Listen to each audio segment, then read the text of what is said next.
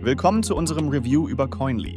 In diesem Video erfährst du das Wichtigste, was du über die Software zur Erstellung von Steuererklärungen für Bitcoin und andere Kryptowährungen wissen solltest. Wir betrachten die Funktionen, werfen einen Blick auf Zahlarten und Gebühren, untersuchen unterstützte Börsen, Coins und Wallets und beleuchten sowohl den Support und die Sicherheit als auch die Benutzerfreundlichkeit. Zum Ende des Videos erfährst du, welche Erfahrungen unsere Community bisher mit Coinly gemacht hat und wie das Testergebnis ausfällt.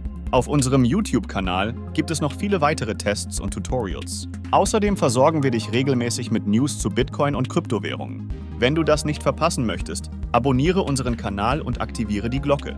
Und jetzt viel Spaß mit dem Video. Coinly bietet mehr als nur Steuerberichte.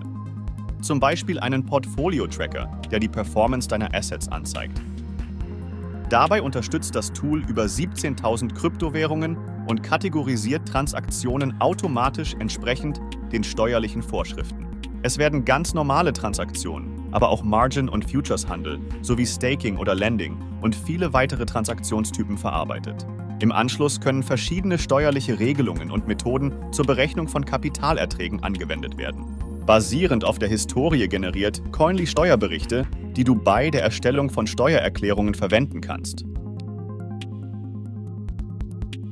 Die kostenlose Version des Tools ist umfangreich und für einfache Anwendungen geeignet.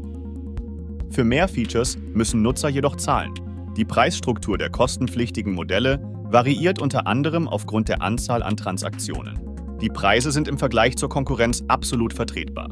Als Zahlarten unterstützt Coinly Kreditkarten und sogar Kryptowährungen. Die Oberfläche von Coinly ist benutzerfreundlich und intuitiv. Trading-Historien aus Börsen oder Wallets können einfach importiert werden. Ein Nachteil für deutschsprachige Nutzer könnte sein, dass die Software nur in englischer Sprache verfügbar ist.